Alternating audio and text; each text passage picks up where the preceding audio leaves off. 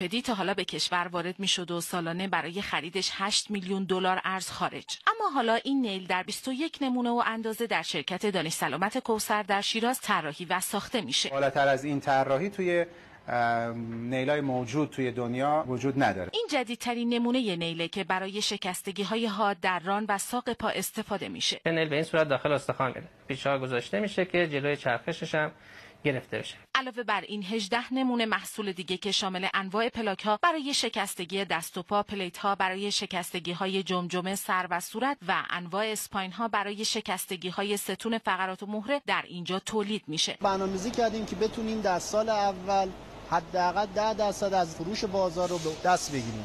بتونیم این تولید رو به سقف 30 تا 35 درصد از فروش بازار برسونیم. مؤسس و سرمایه گذار این شرکت داخلی یک جراح شیرازی است. دکتر بلند پرواز با ثبت این شرکت با یک تیر سه نشان زده و تونسته هم نیاز کشور به واردات ابزار ارتوپدی رو کاهش بده هم برای 80 نفر ایجاد اشتغال کنه و هم یک نوع وقف جدید رو در ایران ثبت کنه.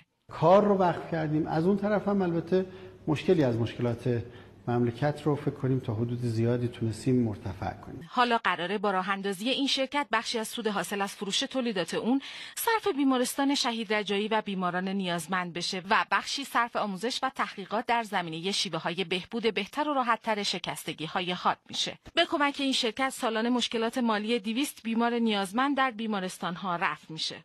در حال حاضر این شرکت کار خودش رو با ساخت ده هزار قطعه در سال آغاز کرده و قرار تا دو سال آینده این میزان به دو برابر افزایش پیدا کنه.